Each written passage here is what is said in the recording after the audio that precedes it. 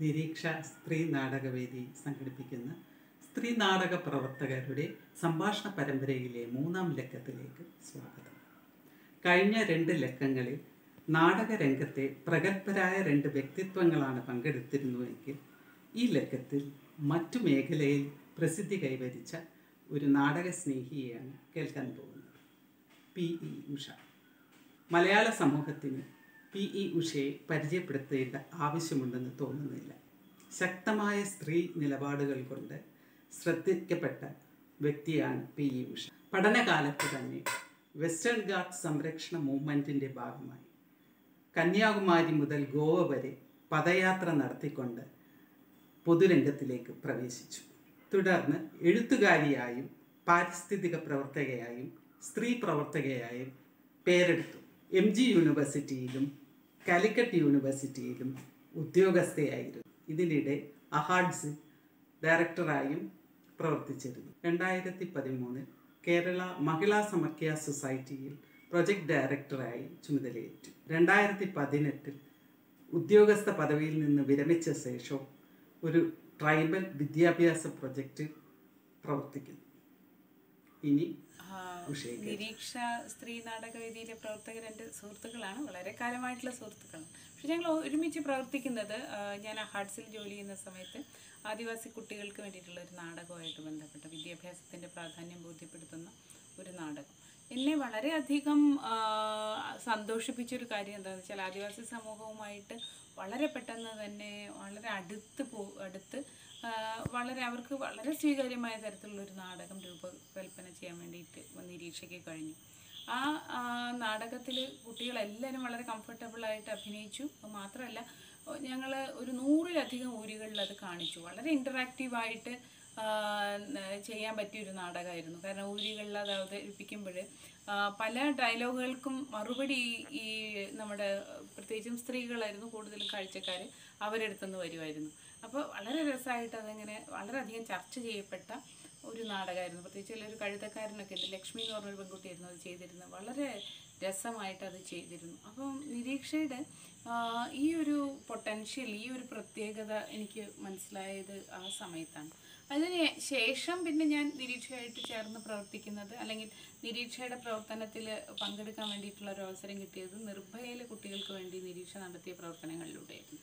അത് സാമൂഹ്യനീതി വകുപ്പ് അവരെ ഏൽപ്പിച്ചൊരു ഉത്തരവാദിത്തമായിരുന്നു. പക്ഷെ അത് ഇങ്ങനെ ഒരു ഏൽപ്പിച്ച ഒരു ഗവൺമെന്റ് ഏൽപ്പിച്ച ഒരു പ്രവർത്തനം എന്നുള്ളതിനേക്കാൾ അധികം വളരെയധികം ആക്റ്റീവായിട്ട് ഇൻവോൾവ് ചെയ്തതുകൊണ്ട് തന്നെ വളരെ പ്രത്യേകമായിട്ട് ഈ കുട്ടികളെ പരിഗണിച്ചുകൊണ്ട് ഇവരുടെ പ്രത്യേകതകൾ മനസ്സിലാക്കിക്കൊണ്ട് ഈ അതിജീവിച്ച പെൺകുട്ടികൾക്ക് വേണ്ടിയിട്ടുള്ള പ്രത്യേക ഒരു പാക്കേജ് ആയിരുന്നു അത്. അതുകൊണ്ട് തന്നെ ഈ നിരീക്ഷയിൽ പോകാൻ കഴിയുന്ന കുട്ടികളെ മറ്റു കുട്ടികളെ നിരീക്ഷ കുട്ടികൾ നിരീക്ഷ കുട്ടികൾ എന്ന് വിളിച്ച് കുറച്ചൊരു അസൂയയോടുകൂടി കാണുമായിരുന്നു.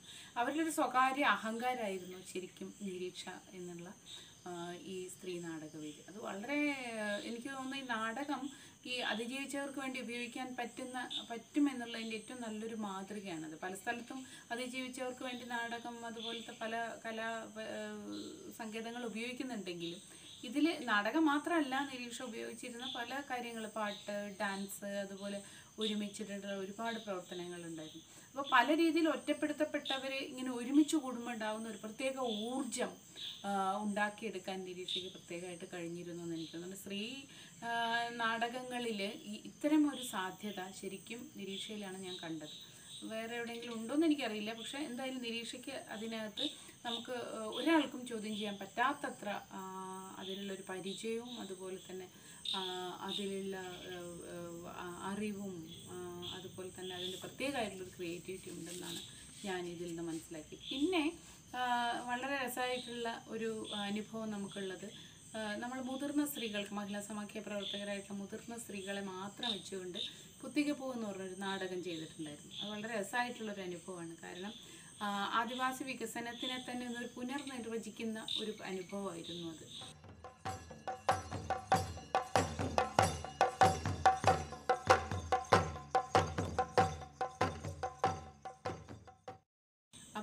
അതിൽ വളരെ ആഴത്തിലുള്ള ചില കഥാപാത്രങ്ങൾ വരികയും അവരിങ്ങനെ നമ്മുടെ ചരിത്രത്തിനെയും നമ്മുടെ സംസ്കാരത്തിനെയും അതുപോലെ നമ്മുടെ വികസനത്തിനെയൊക്കെ ചോദ്യം ചെയ്യുന്ന തരത്തിൽ ഇങ്ങനെ വേദിയിൽ നിറയുന്നത്. പ്രത്യേകിച്ച് ഒരു ആദിവാസി അമ്മ ഉണ്ടായിരുന്നു ഒരുപാട് വിത്തുകൾ കൈവശമുള്ള. അത് എനിക്ക് തോന്നുന്നത് വളരെ വളരെ ആഴത്തിൽ ഈ നമ്മുടെ ഈ പ്രവർത്തനങ്ങൾ വികസനത്തിനെയും ഒക്കെ മനസ്സിലാക്കിയിട്ടുള്ള ആൾക്കാർക്ക് അത് ചെയ്യാൻ പറ്റും. അതുപോലെ തന്നെ ഈ ഒരു തരത്തിലും നമുക്ക് കോംപ്രമൈസ് ചെയ്യാത്ത അവരുടെ ഒരു സ്ത്രീപക്ഷ സമീപനം.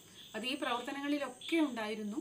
പ്രത്യേകിച്ചും ഈ നാടകം നമ്മൾ ചെയ്യുമ്പോഴും ഓരോ വാക്കിലും ഓരോ ചലനത്തിലും ഓരോ ആശയത്തിലും ഈ ഒരു സമീപനം ഉണ്ടായിരുന്നു സ്ത്രീയുടെ അനുഭവത്തിന് വില കൊടുക്കുന്നത് അതുപോലെ തന്നെ സ്ത്രീയുടെ രീതികൾ പ്രത്യേകമായി പുറത്തു കൊണ്ടുവരുന്നതിന് അതിനൊക്കെ ഒരു പ്രത്യേക രംഗഭാഷ തന്നെ കൊടുക്കാൻ വേണ്ടി കഴിഞ്ഞിട്ടുണ്ടായിരുന്നു. അപ്പം ഈ നാടകത്തിന്റെ പ്രവർത്തനം എന്നെ എനിക്ക് ഈ നിരീക്ഷയായിട്ട് കൂടുതൽ അടുത്ത് പ്രവർത്തിക്കാൻ കഴിഞ്ഞു എന്നുള്ളതിൽ എനിക്ക് വളരെ സന്തോഷമുണ്ട്. നമ്മളെല്ലാവരും ഈ പാൻഡമിക് കാലത്ത് എങ്ങനെയാണ് ഈ നാടകവേദി ഇങ്ങനെ നിശബ്ദമായിരിക്കേണ്ടി വരുന്നല്ലോ എന്ന് ആലോചിച്ച് വിഷമിക്കുന്നുണ്ട്. പക്ഷേ എന്തായാലും എന്തായാലും ഇപ്പോഴും ഞാൻ വിചാരിക്കുന്നുണ്ട് ഇത് കഴിഞ്ഞാൽ നമുക്ക് വളരെ ശക്തമായ തരത്തിൽ ഇതൊക്കെ തിരിച്ചു കൊണ്ടുവരാം. പാൻഡമിക്കിന്റെ കാലത്ത് നിരീക്ഷ പോലൊരു സ്ത്രീ നാടകവേദി എന്ത് ചെയ്യുന്നു എന്ന് ചോദിക്കുമ്പോൾ ഉണ്ടാകുന്നൊരു വിഷയം എന്ന് പറഞ്ഞാൽ നമുക്ക് ഈ പാൻഡമിക്കിന്റെ കാലത്തുള്ള ഒരു ഓൺലൈൻ പ്രവർത്തനത്തിലേക്ക് ചുരുക്കാൻ പറ്റുന്ന ഒരു പ്രവർത്തനമല്ല പോലുള്ള ഒരു നാടകവേദി ചെയ്തുകൊണ്ടിരുന്നത്.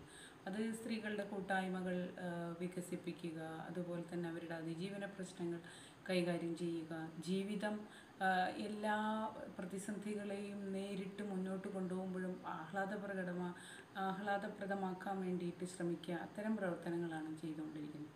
അത് നമുക്കൊരു ഓൺലൈൻ മീഡിയയിലൂടെ ഇങ്ങനെ ഇമ്പാർട്ട് ചെയ്യാൻ പറ്റുന്ന ഒരു നോളജ് അല്ല. മറിച്ച് ഒരു കൂട്ടായ്മയിലൂടെ വികസിച്ചു വരുന്ന ഒരു സർഗ ശേഷിയോ അല്ലെങ്കിൽ ഒരു സർഗ പ്രതിഭാസമാണ്. അതിനെ നമുക്ക് ഈ ഇന്റർനെറ്റിന്റെ ഇതിലേക്ക് ഒതു ഒതുക്കുക എന്നുള്ളത് കുറച്ച് ബുദ്ധിമുട്ടുള്ള കാര്യം തന്നെ.